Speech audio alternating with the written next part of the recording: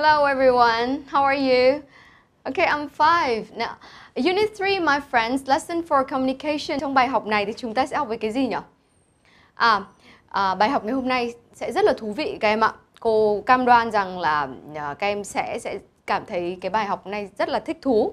I'm sure that you will be very interested in this uh, lesson um, because it is a very common topic, especially for the girls. Nó là một cái chủ đề cực kỳ là phổ biến và đặc biệt đối với những bạn bạn nữ. Trước hết cô sẽ cho các em xem một số hình ảnh như sau. I'll show you some pictures. First, it's a picture of some uh, students, of some boys and girls. Em sẽ nhìn trong sách của mình cũng được hoặc là em có thể nhìn lên trên màn hình này. À, nếu ở trong sách mình sẽ nhìn trang 30 hoặc là trang 30 và trang 31 hình ảnh của năm bạn học sinh và em thấy đặc điểm của năm bạn thế này uh, này như thế nào nhỉ? Các bạn ý uh, có phải đến cùng từ một quốc gia không? Do you think that they are from uh, the same country in the world, the same country, or they are from different countries in the world? À, rõ ràng là hình ảnh của những bạn này thì dựa vào cái đặc điểm về ngoại hình, về khuôn mặt các bạn ý, thì mình có thể đoán là bạn ý, các bạn ý đến từ những cái quốc gia khác nhau, chứ không phải là cùng một quốc gia, cùng một đất nước, đúng không? Rồi now the next picture I want to show you, the map of the world. À đây chính là bản đồ của thế giới các em ạ. Vậy thì bài học này cô muốn nói gì nhỉ? Mình sẽ học về những bạn học sinh mà ở những cái quốc gia khác nhau, ở những những nước khác nhau trên thế giới, để xem là um, cái uh, kế hoạch của các bạn ấy cho một tuần của mình cũng như là cho cuối tuần thì có khác gì nhau không hay là giống nhau mặc dù các bạn ấy ở những nơi khác nhau trên thế giới. Uh, ok, nào bây giờ mình thử đoán được cô đi. Nào, do you want to play a game? This is a guessing game. Guessing game là trò chơi dự phán đoán. Uh, các em sẽ nhìn vào khuôn mặt của những bạn học sinh này và mình sẽ đoán xem là các bạn ấy đến từ những nước nào nhé. Ok, you guess where they are from. Bạn đầu tiên này, bạn nhỏ đầu tiên Em có thể nhìn hình bạn nhỏ ở ở trong sách cũng được nếu trên này nó quá mờ. Theo em, bạn này đến từ đâu nhỉ? Is she from Asia? Bạn ấy đến từ châu Á không? À, is she from Europe? Đến từ châu Âu không? À, em nói là she is from Africa, đến từ châu Phi. Ok, cũng có lý bởi vì là cái là cái màu sắc da của bạn ấy là có thể thể hiện cái điều đấy là bạn ấy đến từ đến từ châu Phi này. Ok. The next one, bạn này nào. Bạn nam ở trong sách ở trang 30 các em có thể nhìn thấy. À bạn nam này thì uh, em đoán xem is from Africa. Có phải đến từ châu Phi không không à? No he isn't. Đến từ um, is from Europe. Đến từ châu Âu. No. À he looks like he is from Asia. Nhìn có vẻ bạn này đến từ châu Á.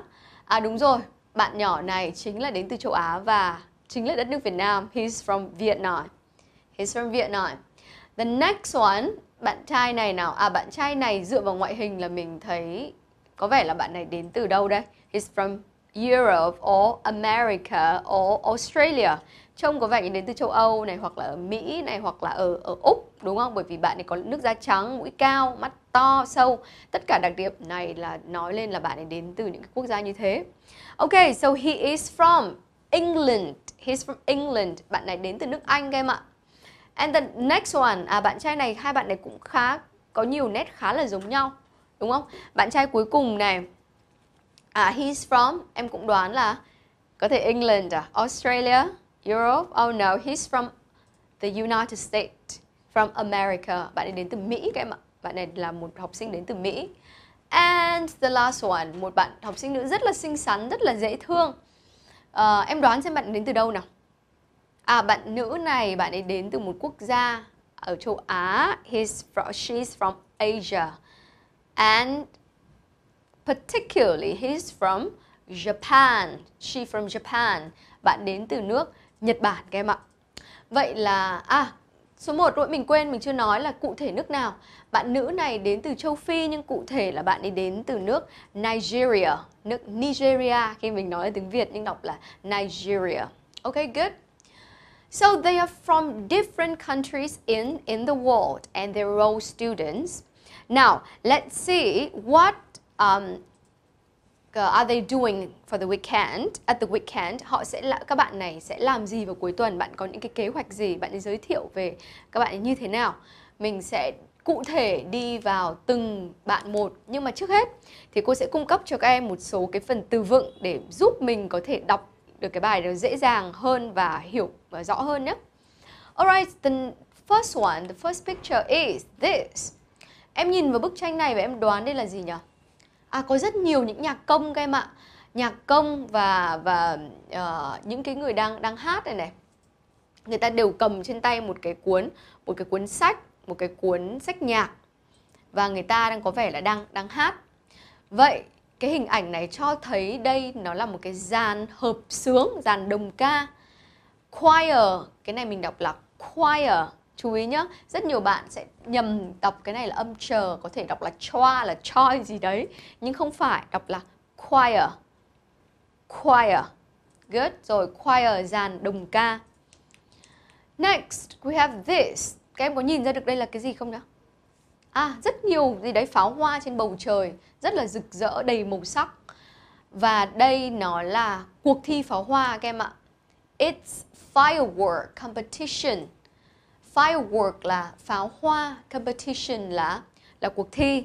Mình ghép lại mình sẽ có là firework competition là cuộc thi bắn pháo hoa. Cô đọc lại một lần này. Firework trọng âm và trọng âm và âm tiết đầu và chú ý đọc âm cuối nhé.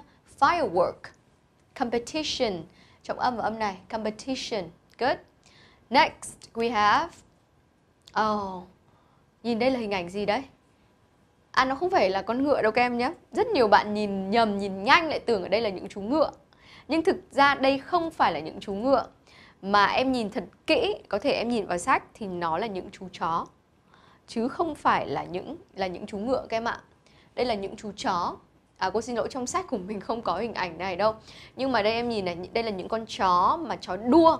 Nó đeo những cái dọ mõm thế này này và những cái cuộc đua dành cho dành những con chó như thế này thì tiếng Anh gọi là Greyhound Racing.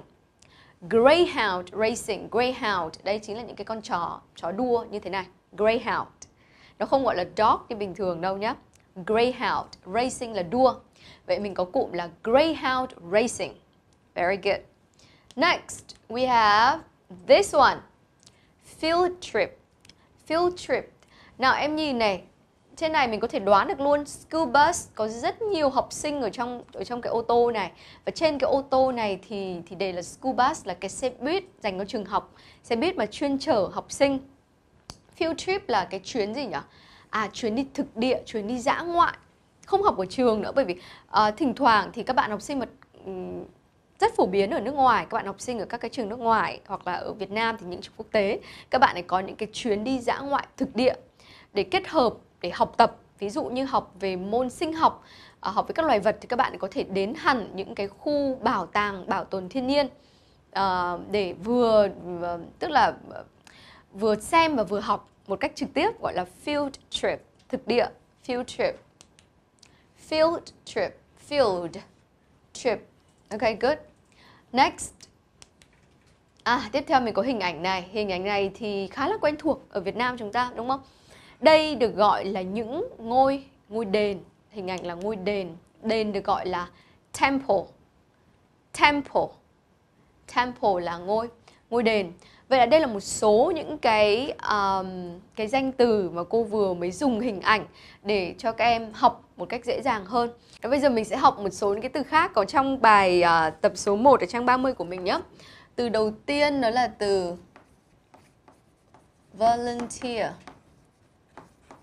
Từ này nó là một danh từ, cô viết ký hiệu là and, now là danh từ. Cách đọc của từ này như sau, nó có 3 âm tiết và em sẽ nhấn vào âm tiết cuối cùng là âm tiết này tier. Volunteer. Volunteer. Nghĩa của nó là gì nhỉ? Nó là tình nguyện viên. Volunteer là tình nguyện viên. Uh, ok. Tiếp theo mình có từ independent.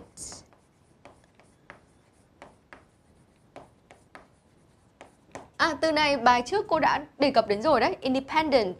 Nó là một tính từ independent trọng âm vào đây này. Independent, từ này có bốn âm tiết. Nghĩa của từ này là độc lập, tự lập. Independent, independent. Tiếp theo mình có một tính từ khác. nó là curious. Curious, trọng âm và âm đầu đọc lại này. Curious, đúng rồi, nó là tò mò các em ạ. Um, cũng là một tính cách đúng không? Tiếp theo chúng ta có cụm là freedom. Freedom loving. Freedom loving đây là một từ ghép. Từ ghép giữa freedom và loving. Freedom là tự do, sự tự do. Loving là yêu chuộng, yêu thích, yêu thương. Vậy cái cụm này ghép lại có nghĩa là người yêu chuộng cái gì nhỉ? Sự tự do, yêu tự do các em ạ. Nó cũng là một tính từ. Freedom loving, yêu tự do. Tiếp theo mình có từ responsible. Responsible. Đây cũng là một tính từ. Responsible. Responsible là có trách nhiệm. Responsible. Bốn năm tiết. Responsible. Tiếp theo mình có từ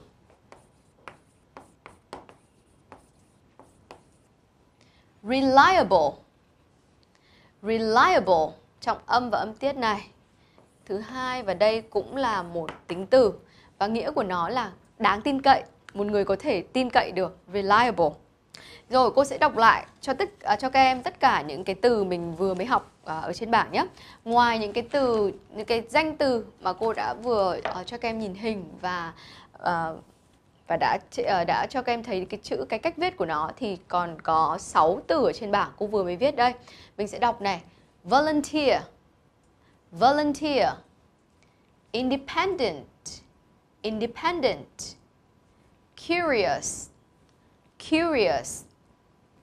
Freedom loving, freedom loving, responsible, responsible, reliable, reliable. Good. Xong vậy là mình đã biết uh, nghĩa được những cái từ mới trong uh, trong cái bài đọc. Sắp tới mình sẽ sẽ phải uh, đọc. Rồi, uh, bây giờ cô sẽ show cho các em, cô sẽ cho các em thấy uh, những cái phần uh, đề những cái phần bài mà tương ứng với những cái bạn học sinh mà mình vừa mới à, đề cập đến trong cái cái phần học ở đầu bài nhé.